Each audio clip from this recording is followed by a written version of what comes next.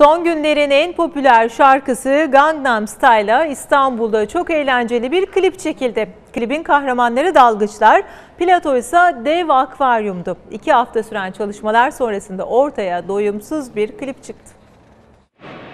Open Gangnam Style.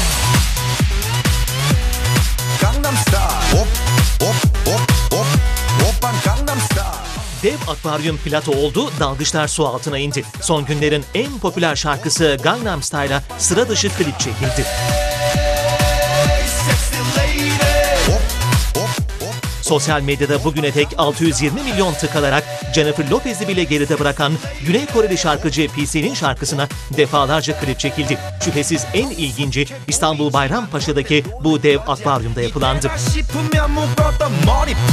싶으면 묶었던 머리 푸는 여자 가렸지만 웬만한 노출보다 야한 여자 그런 감각 Köpek balıkları, batoslar ve yüzlerce tür balık çekimler sırasında balık adamlara eşlik etti. Akvaryum doğal plato oldu. 내가 되면 완전 미쳐버리는 선어해 그녀 Çekimde 10 kişi kamera arkasında görev yaptı. 10 kişilik dalış ekibi de doyasıya dans etti.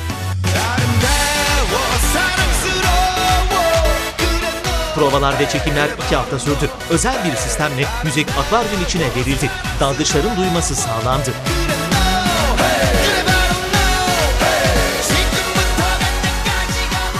Su altında her figürü rahatlıkla yapabilen dalgıçlar pek de zorlanmadı. Dansları PC'yi aratmadı. Oppan Gangnam Style. Gangnam Style. Ve sonunda ortaya çıkan bu keyifli görüntüler tüm zorlukları unutturdu. Gangnam Style